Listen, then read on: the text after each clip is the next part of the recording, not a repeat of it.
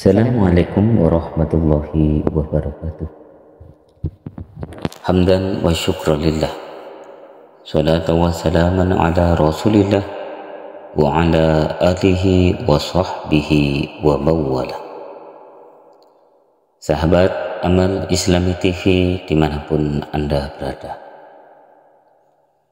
Sudah tahukah sahabat Mengapa babi diharamkan di dalam ajaran agama Islam. Apa yang melatar belakangi tentang diharamkannya hewan tersebut? Sahabat Amal Islami TV di mana pun Anda berada. Sejarah haramnya babi di dalam Islam memang tentu sangat menarik untuk dibahas.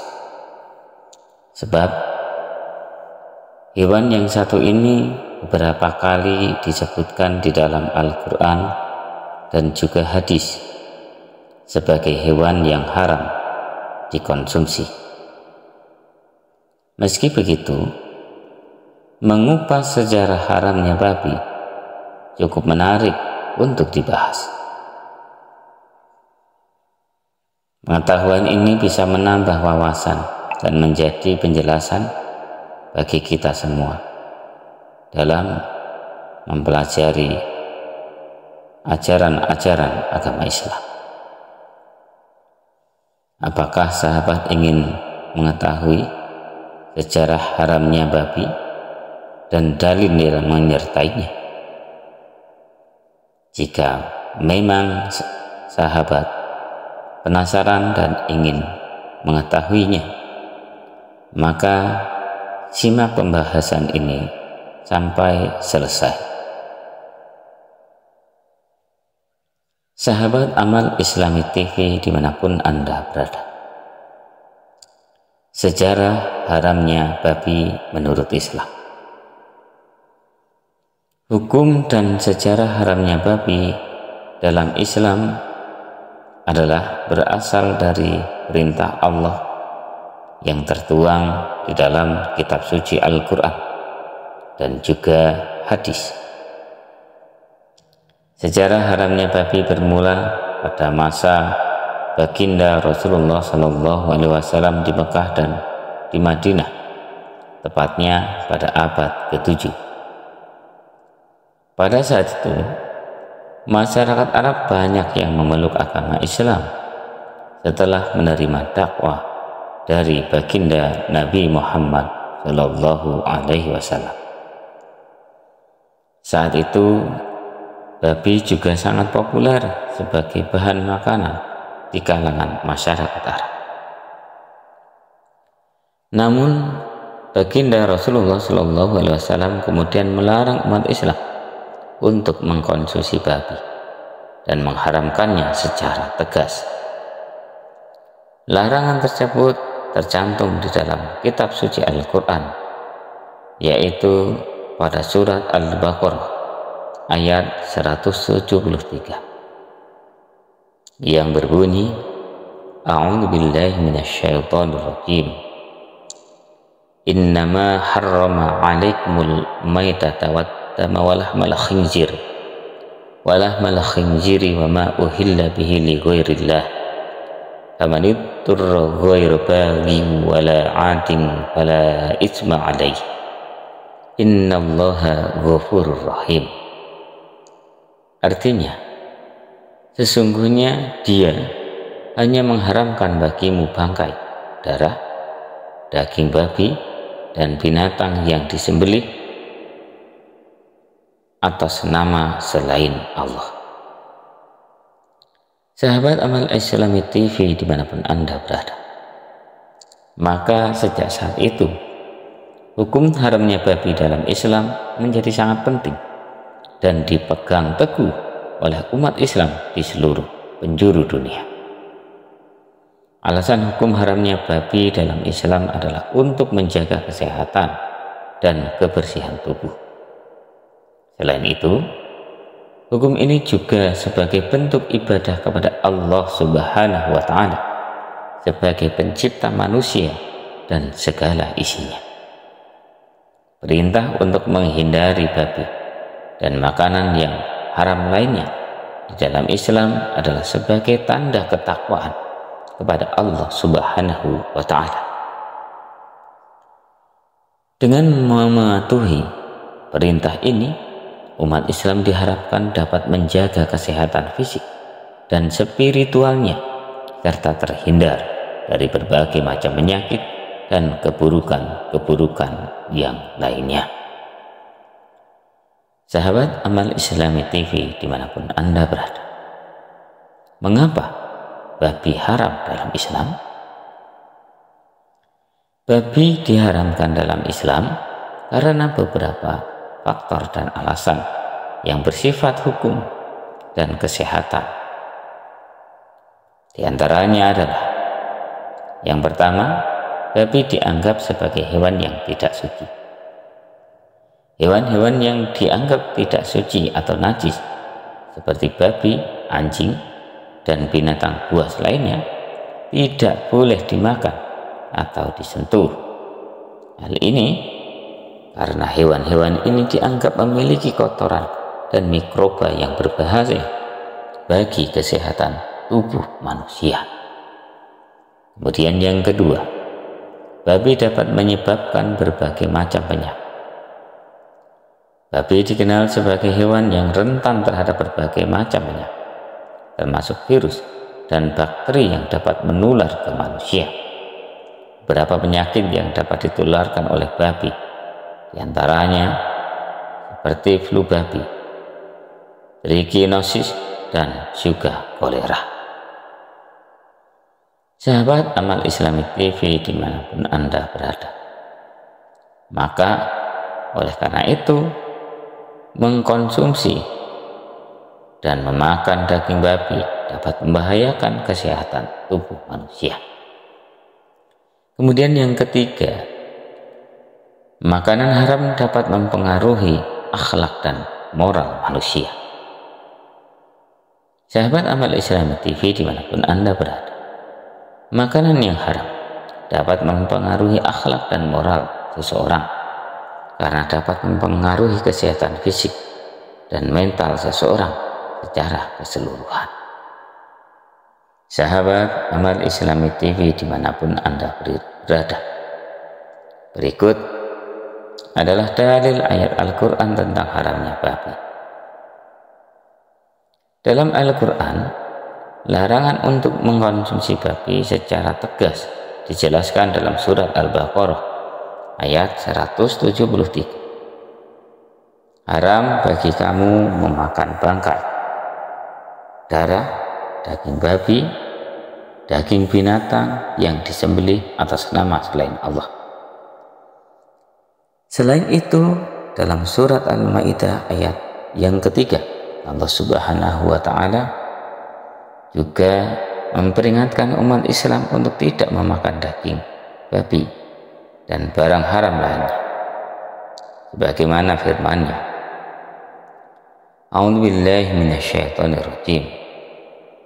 Hurimat alaikumul maitatu wa tahmu wal watamu walahmul khinzir wa ma uhilla li ghairillah wa ma uhilla li ghairillah bi wal munkhaniqatu wal mawqudatu wal mutaradiyatu wa natihatu wa ma akala sabu'u ila ma taqaitu wa ma dubiha 'ala nusubi wa an tastaqsimu bil azlam dzalikum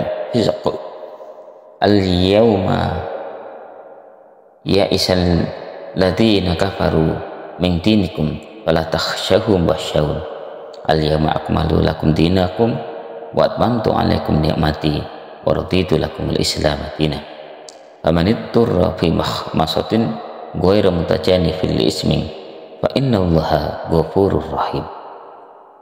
Diharamkan bagimu memakan bangkai darah daging babi dan daging hewan yang disembelih bukan atas nama Allah yang yang tercekik yang dipukul yang jatuh yang ditanduk dan yang diterkam binatang buas kecuali yang sempat kamu sembelih.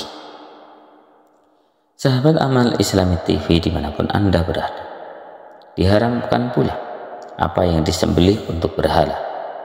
Demikian pula mengundi nasib dengan azlam atau anak panah karena itu sesuatu perbuatan yang fasik. Pada hari ini orang-orang kafir telah berputus asa untuk mengalahkan agamamu. Oleh sebab itu, janganlah kamu takut kepada mereka, tetapi takutlah kepadaku.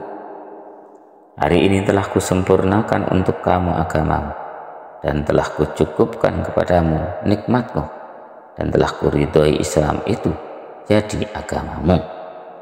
Tetapi barang siapa yang terpaksa karena kelaparan, tanpa sengaja berbuat dosa, sesungguhnya Allah Maha Pengampun, lagi Maha Penyayang.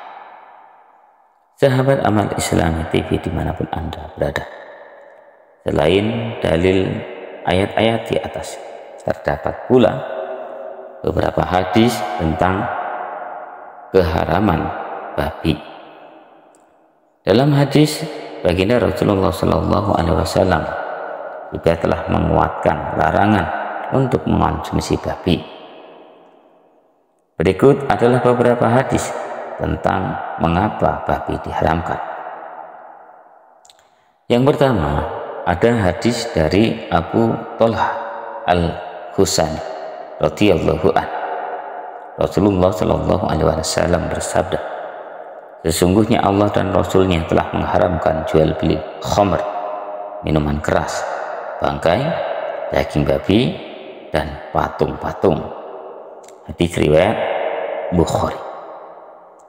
Kemudian yang kedua, ada hadis dari Abu Hurairah radhiyallahu anhu Rasulullah Shallallahu Alaihi Wasallam bersabda, Allah Subhanahu Wa Taala melaknat pemakan riba, pemberi riba, penulis dan dua saksi yang menyaksikan transaksi riba, dan mereka semua itu sama dengan dosanya, sama dalam dosanya. Hadis riwayat Muslim.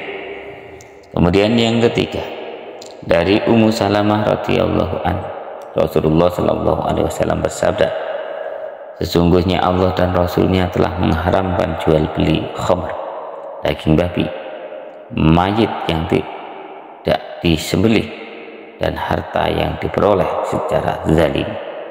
Hadis riwayat Ahmad. Yang keempat, hadis dari Abu Daud radhiyallahu Rasulullah Shallallahu Alaihi Wasallam bersabda, Allah Subhanahu Wa Taala melaknat babi memakannya dan memberikannya kepada orang lain. Hadis riwayat Ahmad. Kemudian yang kelima, hadis yang diriwayatkan oleh Imam Tirmizi radhiyallahu Nabi Muhammad Shallallahu Alaihi Wasallam bersabda,